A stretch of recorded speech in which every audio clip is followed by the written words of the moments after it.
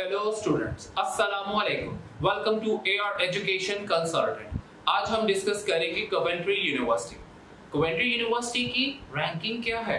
26 number पे according to गार्डियन.com पे.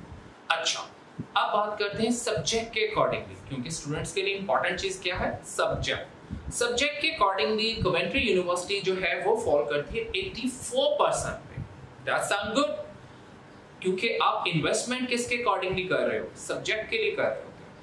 अब बात करते हैं टू प्रोग्राम्स एक होता है अंडर ग्रेजुएट एक पोस्ट ग्रेजुएट अंडर ग्रेजुएट के लिए अगर आपके मार्क्स 50 परसेंट और 50 परसेंट से अबव है देन यू आर एलिजिबल और अगर आपके मार्क्स बैचलर में बैचलर भी आपको पता है थ्री इयर्स और फोर इयर्स अगर आपके मार्क्स 55 परसेंट पे हैं then you are eligible to get admission in Coventry चलो अब बात करते हैं कि कैंपस कैसा है? कैंपस आप वेबसाइट पे विज़िट करो। आप Coventry university is well equipped campus digital library भी अवेलेबल है।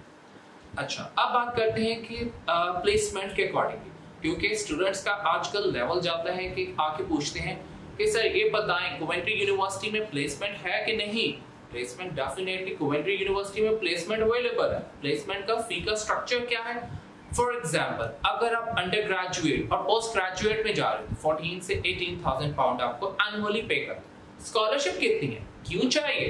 कमेंट्री पर देता है। कितनी? फोर थाउज़ेंड पाउंड तक का स्कॉलरशिप अवेलेबल है।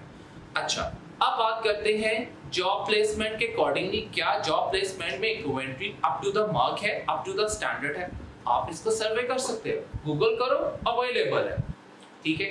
अच्छा लास्ट और most important please like subscribe this channel. Thank you